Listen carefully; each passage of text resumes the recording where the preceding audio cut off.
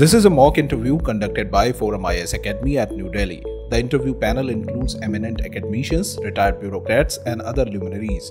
The objective of program is to acquaint the candidate with the format and expectations of the personality test conducted by UPSC.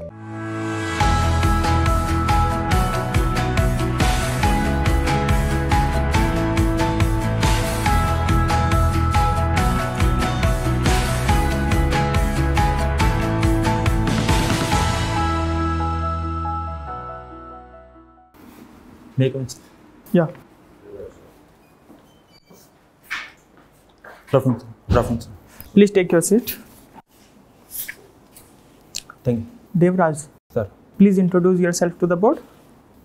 Sir मेरा नाम देवराज सिंह है sir मैं आगरा उत्तर प्रदेश का निवासी हूँ sir मैंने अपनी ग्रेजुएशन मरीन इंजीनियरिंग में Indian maritime university Mumbai port campus से की है इसके बाद मैं वेरियस डिफेंस एग्ज़ाम्स में अपियर हो रहा हूँ जैसे INET AFCAT C D S and C A P F ma'am मुझे ट्रैकिंग करना और स्टैंड अप कॉमेडी देखना पसंद है।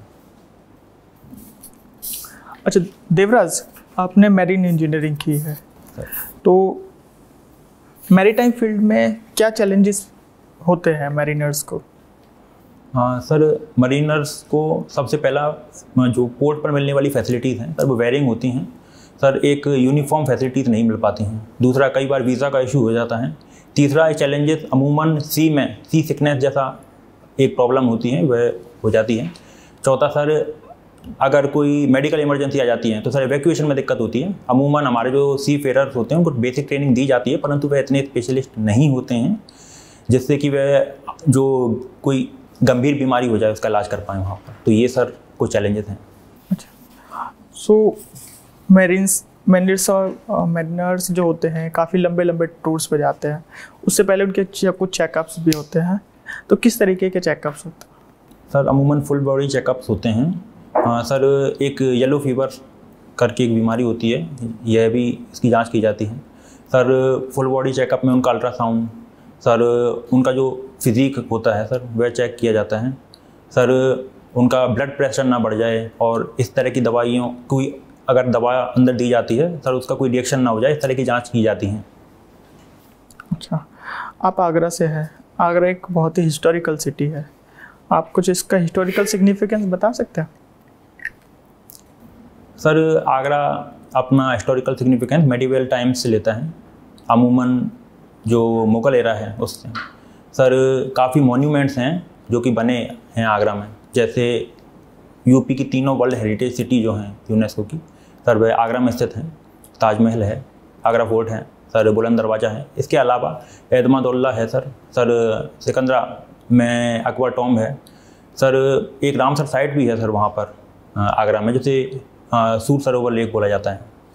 रामसर साइट्स क्या होती है? अ, सर रामसर साइट्स अमूमन जो मैन ग्रुप्स होते हैं और सर इनको प्रोटेक्ट करने के लिए एक कन्वेंशन बनाई गई थी ईरान में उसे रामसर कन्वेंशन कहते हैं। और जिन साइट्स को इसके अंदर रखा जाता है उनको दी सर रामसर साइट बोला जाता है।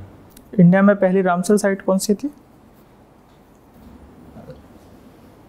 सर जितना मुझे याद आ रहा सर चिल्का लेक पहली रामसर साइट थी। चिल्का लेक का पानी कैसा है? खारा है मीठा है? सर ये ब्रैकिश वाटर लेक है। ब्रैकिश वाटर है। ओके। आपने बीटेक की है मैरीन इंजीनियरिंग भी। में तो इसके बावजूद आप सीएपीएफ क्यों ज्वाइन करना चाह रहे सर क्लास ट्वेल्थ में ही क्लियर था कि आर्म फोर्सेस में ही जाना है। इसके लिए मैंने एक साल का ब्रेक भी लिया है स्टडीज़ से, जिसको ड्रॉप लिया था। एनडीए के लिए अपियर हुआ, परंतु एसएसबी क्लियर ना कर सका। सर उसी समय से क्लियर था कि सीडीएस देना है, उसके बाद में आर्म फोर्सेज ज्वाइन करेंगे। फोर्थ ईयर में सीडीएस में भी अपियर हुए, परंतु उसके बाद भी एसएसबी नहीं क्लियर कर पाए। शुरुआत से यह क्लियर था कि मरीन मरीन फ़ील्ड में नहीं जाना है। बट चूँकि इसका जो एटमॉस्फेयर था मरीन इंजीनियरिंग का जो ट्रेनिंग हमको दी जाती है कहीं ना कहीं आर्म फोर्सेस से रिलेटेड है। यही कारण था कि मरीन इंजीनियरिंग की और उसके बाद में अभी मैं आपके समक्ष इंटरव्यू दे रहा हूँ सी का। आपकी हॉबी है शॉर्ट फ़िल्म बनाना। आप किस किस तरीके की शॉर्ट फ़िल्म है? सर मैंने अपने कॉलेज टाइम पर शॉर्ट फ़िल्म बनाई थी। अमूमन मैं शॉर्ट फ़िल्म थीम वाइज बनाता था। कॉम्पिटिशन्स के लिए। मैंने जो शॉर्ट फ़िल्म बनाई थी उसमें हमें आज़ादी कैसे मिली? एक शॉर्ट फ़िल्म ये बनाई थी। एक शॉर्ट फ़िल्म हम लोगों ने जो नेक्सेस होता है पॉलिटिशियंस और बिल्डर्स के बीच में कुछ उस पर एक शॉर्ट फ़िल्म बनाई थी। अच्छा गुड सर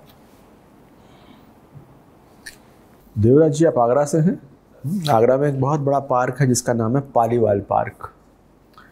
ये पालीवाल पार्क किसके नाम पे क्या इसका रेफरेंस है पालीवाल का? आ, सर पालीवाल पार्क एक फ्रीडम फाइटर थे उनका पूरा नाम मुझे नहीं पता है। पार्क फ्रीडम फाइटर थे? सर पालीवाल जो पार्क है वह पालीवाल पार्क जिन पालीवाल जी के नाम पर है वो फ्रीडम फाइटर थे उनका पूरा नाम तो मुझे नहीं पता है। पालीवाल पार्क का एक ज़माने में नाम हिविट पार्क हुआ करता था। सर। हिविट साहब कौन थे? नहीं सर जिनके बारे में मुझे जानकारी नहीं है। आगरा में एक जगह है नूरी दरवाज़ा। उसका नाम बदल के अब कर दिया गया है भगत सिंह गेट। कोई historical historical context Noori Darwaza क्या था?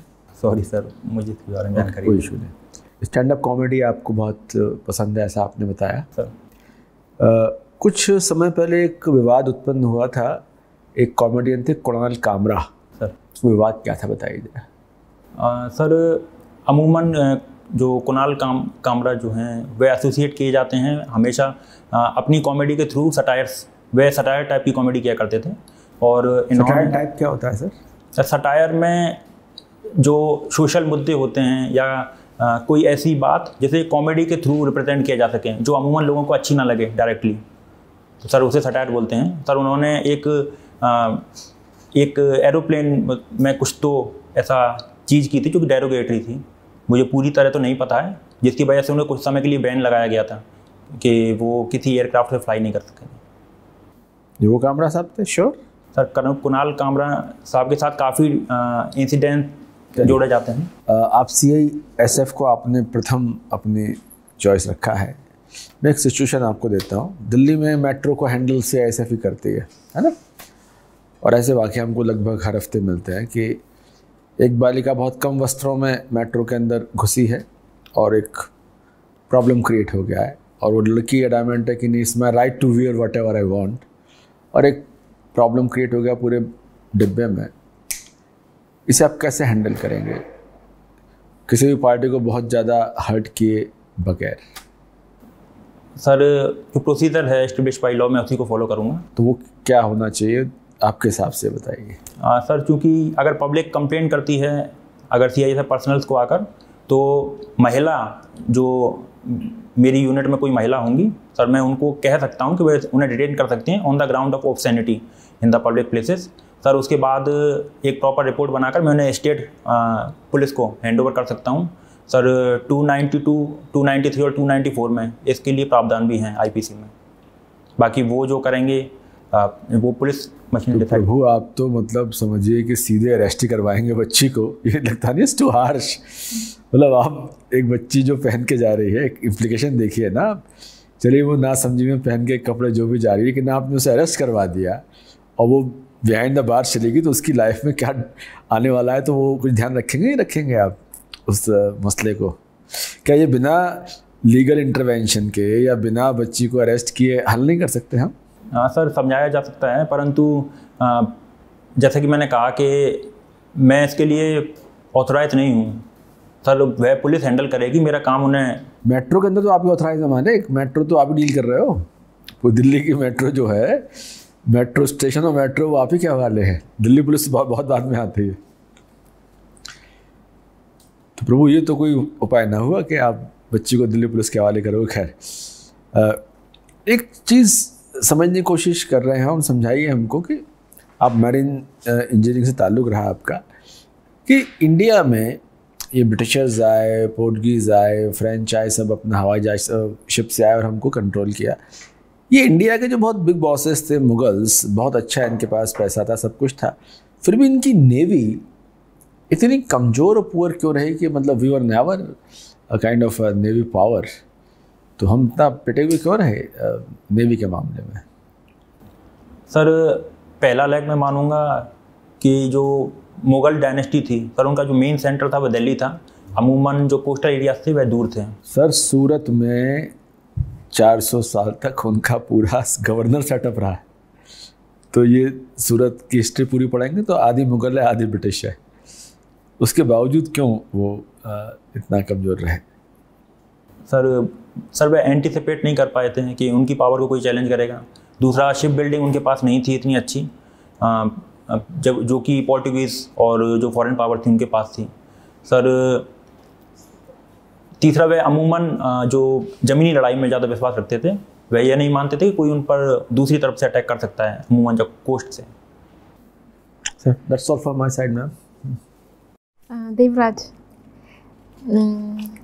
आप हमारा इंटरव्यू हिंदी में चल रहा है लेकिन हिंदी इज़ अ लैंग्वेज जो काफ़ी लुक डाउन अपॉन भी की जाती है in the presence of English do you agree with this ma'am कई कई जगह ऐसा है for making the uniformity in the basically in the interviews specifically in the S S Bs जहाँ पर यह प्रेफर किया जाता है कि यूनिफॉर्मिटी बनाई जाए कुछ लैंग्वेजेस में क्योंकि जितनी डाइवर्सिटी हमारे देश में है उस हिसाब से अगर सभी अपनी अपनी लैंग्वेजेस में आकर इंटरव्यू दें और अपने आप को व्यक्त करें तो कहीं ना कहीं जो बोर्ड मेंबर्स हैं या फिर जिनको समझने में दिक्कत होती है ये तो इंटरव्यू बोर्ड का है। मैंने आपको सोसाइटी लेवल पे पूछा कि सोसाइटी लेवल पे ज़्यादा से ज़्यादा लोग अब कोशिश करते हैं कि वो इंग्लिश में बात करें। और जो हिंदी में बात करें उनको थोड़ा सा नीचे की और देखा जाता है। Ma'am so how do we improve the status of Hindi ma'am इसका जो मेन पहला तो मेन कारण यह है कि एक कॉलोनियल लेगेसी चली आ रही है, जिसमें हम मानते हैं कि अगर इंग्लिश बोल रहा है तो ज़्यादा एजुकेटेड हो सकता है, ज़्यादा नॉलेजेबल हो सकता है। सर मैम इसको मैम तोड़ने की आवश्यकता है। इसको स्कूल से ही तोड़ना जाना, तोड़ा जाना चाहिए। स्कूल में ही ये सिखाया जाए कि कोई भी लैंग्वेज इन्फियर नहीं होती और जो नॉलेजेबल पर्सन होता है, उसके लिए लैंग्वेज जस्ट अपने आप को एक्सप्रेस करने का तरीका है। और मैम, इसके अलावा जो हमारे प्राइम मिनिस्टर हैं, ऑनरेबल प्राइम मिनिस्टर, उन्होंने कहा था कि हमको ये कॉलोनियल लीगेसी इसको ख़त्म करना है। अपने आप को किसी भी फॉर्म में सर्विट्यूट जो है, खासकर अभी लैंग्वेज है, उसे ख़त्म करने की आवश्यकता है। इसीलिए हम रीजनल लैंग्वेजेस को प्रमोट भी कर रहे हैं इंजीनियरिंग कोर्सेज को कन्वर्ट भी कर रहे हैं, ताकि मोर एंड मोर यूनिफॉर्मिटी हमारे देश में जो आए और मैम, ये पर्टिकुलर जो एक स्टिग्मा बना हुआ है कि इंग्लिश बोलेगा तो अच्छा है, ऐसा नहीं है। This is the stigma I was talking about ठीक है। आपने मरीन इंजीनियरिंग करी है so I am assuming you have more knowledge about marine what are the marine resource marine resources क्या होते हैं हमारे पास? इंडिया के मरीन रिसोर्सेज क्या हैं? मैम हमारे कोस्ट से लगे हुए जो मरीन रिसोर्सेज हैं अमूमन uh, जैसे सी uh, जो फिशेस हैं मैम उसके अलावा जो uh, जो नोड्यूल्स वगैरह जो कि सी में पाए जाते हैं मैगनीज नोड्यूल जो होते हैं मैम वह और इसके अलावा मैम जो क्रूड ऑयल या नेचुरल गैस है मैम वह सब मरीन रिसोर्सेज में काउंट होता है। ठीक है। और आ, हमारे कोस्ट की कोस्ट लाइन की या मरीन की प्रॉब्लम क्या है? मैम एक तो मैम पहला तो इंटरनल सिक्योरिटी इश्यूज़ आते हैं कोस्ट लाइन की वजह से। जैसे कि आर्म ट्रेड है ह्यूमन ट्रैफिकिंग है। मैम अब टेरर टेरर रिलेटेड एक्टिविटीज़ भी वहाँ से होती हैं। मैम 2008 में जो मुंबई अटैक हुआ था वह कोस्ट लाइन के थ्रू ही पूरे टेररिस्ट आए थे। मैम इसके अलावा इंटरनेशनल प्रॉब्लम्स क्या हैं? मैम पायरेसी एक इंटरनेशनल प्रॉब्लम है और मैम अभी मदरशिप्स के थ्रू जो आर्म ट्रेड होता है वह अमूमन जो डीप सी है उसमें उसके थ्रू की जाती है। मैम कई बार जो कुछ कंट्रीज़ हैं जो क्लेम कर देती हैं कि ये हमारा टेरिटोरियल वाटर है हम किसी मर्चेंट वेसल को यहाँ से नहीं निकल देते निकलने देंगे। ये एक ये भी एक नया इमरजेंट थ्रेट है। ठीक है। आ, इसी लाइन पे एक दूसरा सवाल वो है कि तमिलनाडु में तीन मेजर पोर्ट्स हैं। These are ma'am three major ports in Tamil Nadu.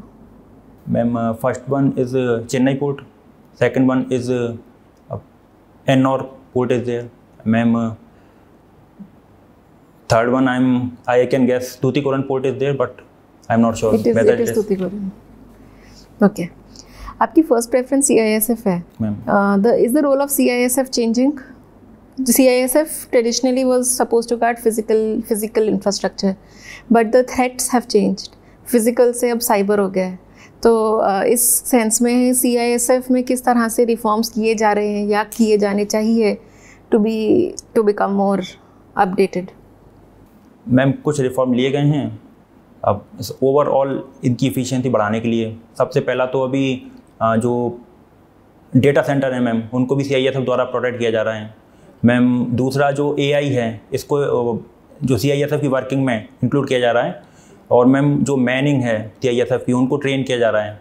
हालाँकि और भी करने की ज़रूरत है, जैसे ए आई एनालिटिक्स का यूज़ करें और अपने एक टेक्निकल एंट्री मैम, जैसे आर्मी में होती है, ऐसी सी आई एस एफ़ में भी टेक्निकल एंट्री की जानी चाहिए। जो कि साइबर स्पेसिफिक जो थ्रेट्स हैं उनको ख़त्म कर सकें। कर सकें। Last question what is quad quad ma'am 2007 में इसको सोचा गया था जो प्राइम मिनिस्टर थे जापान के।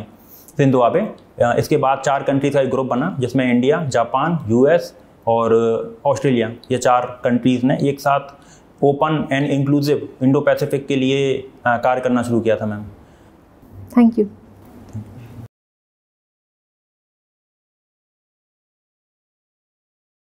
it was a good interview you had good content confidence calm personality current affairs थोड़ा पढ़ लो। Current affairs are very important specially in the context of security तो वो आप पढ़ लो। Otherwise that's it